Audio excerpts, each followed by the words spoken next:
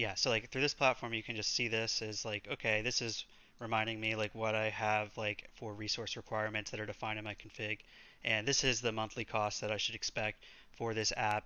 And like when you press deploy here, it will then send a request through like um, uh, the Kubernetes API, but it's also being set. It's also being passed through like temporal because uh, you would really want like something to handle like you know there's many different things that can go wrong.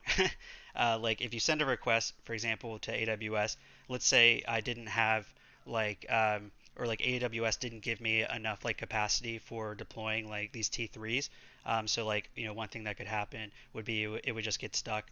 Um, another thing could happen where it'd be like um, the kubernetes api is being overloaded so like mm. you know one of the the calls gets dropped and you you know you don't want your application to like deploy part of the application. You either want like all of it or like none of it. So by putting it through like temporal, it, it, it gives you this like built-in like way to have like retry logic around all of, all of those operations. So that way things get deployed like very reliably. For people who don't know about temporal, can you like summarize what they do and like? Yeah. yeah. So um, like temporal uh, slash like cadence. Cadence is, is the original name that uh, of a, an application that Uber developed. So Uber created that to solve um, the issue of you know chaining a lot of like business flows or, or like things that are a lot of uh, pieces of a distributed system um, reliably and stitching them together.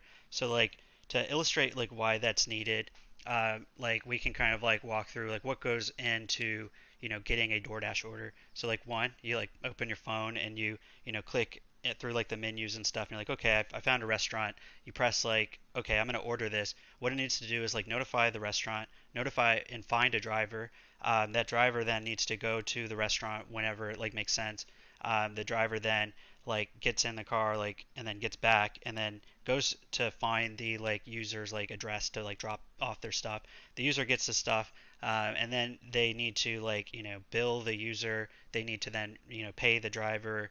And you know those are a lot of different steps. And if, if that whole chain of stuff just did not work just almost always they wouldn't have a scalable business. Like if you have like millions of you know DoorDash orders and um, even like 1% of them were like you know not working and you needed an engineer to figure it out they wouldn't have a business very quickly. Mm. so, so then yes. temporal so then temporal makes sure that it's done sort of transactionally or that there's if something fails it keeps trying until it no longer fails? Like, what's the logic there?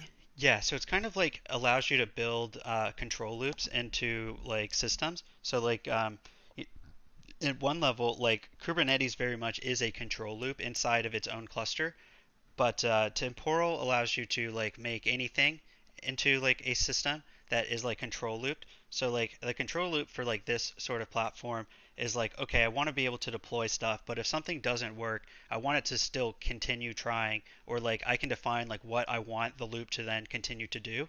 Um, so I could like set rules where it's like I wanted to continue trying for an hour, and if it doesn't work after an hour, then I want to notify somebody, or I want to roll back all the things that I tried. So it allows you to define like how do I want to move forward, and then like you know close the loop on like okay, uh, now, if I want to destroy this or clean it up or notify people, um, so like you know, if something gets stuck in a certain area, you can it'll only get stuck there, and it'll be you can like check it out on your observability. You can be like, this isn't working. Um, it's like in process, so we don't have to like stop or like figure out where things stopped. It's already there and it's already retrying, and then you can resolve the problem there and then update hmm. your like logic if you need to. Um, and control loops are very powerful because they just keep things like moving things are, are stopped, then usually your business is stopped, really. So uh, yeah, it's really just a control loop for distributed systems.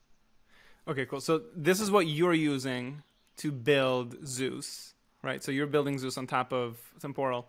Uh, now, in the typical case, like for people who are not using Zeus, how do they figure it out? So let's say they're committing a particular the latest version of their code that already includes all of like the, the, the Kubernetes files then then what? There's a separate service always that picks it up. Is it like a GitHub Actions or like a CI/CD type of thing that then makes a call to the Kubernetes API to uh, um, to update the state? Yeah. So like a very popular way that people will deploy apps is using Helm charts. So like that is one way, and I'll show you what the Helm chart looks like for like temporal. And uh, so like that's like one thing. So you have a Helm chart and like on the command line with your terminal, you can say, okay, Helm install this Helm this Helm chart.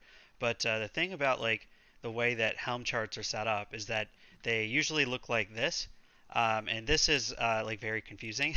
like, mm. okay, web deployment, and uh, okay, it's got like 3,000 conditionals.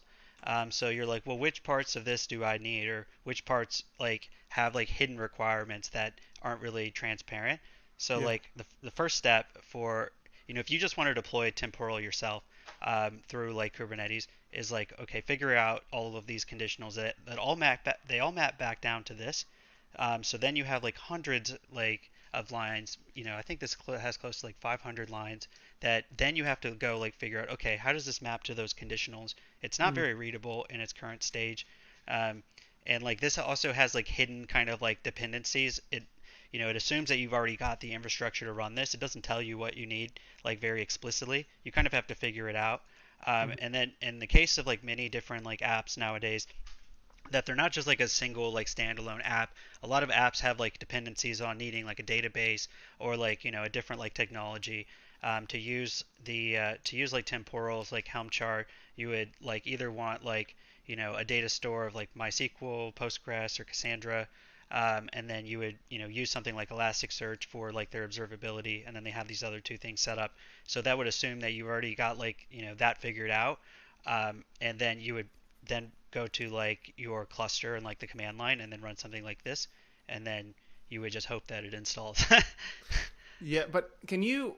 Maybe we need to take like one step back and just kind of like, can you paint a picture of the kind of workflow that might fail? So, because what I have in mind is let's imagine we already have like a Kubernetes cluster running, right? And we have a bunch of different yeah. services. We have, but really the only change that now I need to introduce is, let's say, to increase the memory that I allot to one of my stateful set services or something, right? Like to one of my stateful set pods.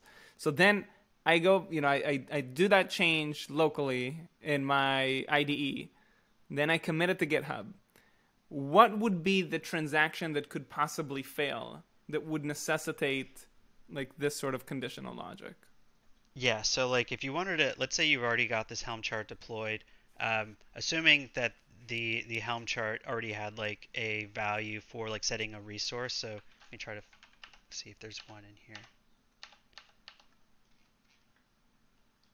Um, okay, so like let's let's say like the heap size or whatever mm, or something yeah. you changed here. I'm trying to find something you know that looks like this. Okay, here they actually have resources here. Um, so like let's say you're like okay we need more memory for application. Instead of this we're gonna add you know one gigabyte. If you then uh, like changed it here and committed it or whatever and then re reinstalled it, it would then like you know apply those changes to your like existing um, deployed um, cluster. And let's say one of the things that could happen would be uh, like an uns- it's not schedulable, which means like you wanted one gigabyte, but we don't have any capacity on any machines to make that work. So then it mm. will just mm. be stuck. It'll just say, well, we can't schedule, um, and then you would have to figure that out. Um, usually from like your observability, or like you would you know watch it from like the install, and you would see that it's not working.